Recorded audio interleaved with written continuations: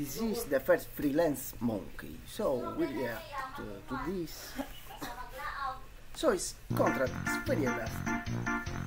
You don't need uh, to work too much. Just when you want, when you feel, go and work. Because it's like a, it's not the ordinary monkey. It's, it's a super monkey that, unlike the other monkey, become a family member. So you see how they educate them.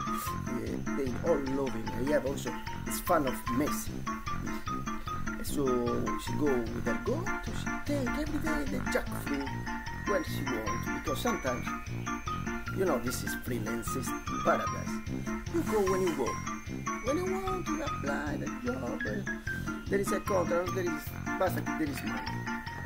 So also the people help and support them to have more connection with the people because I know the people they love these pets. So there is the court pets, pig pets, and poi the responsibility.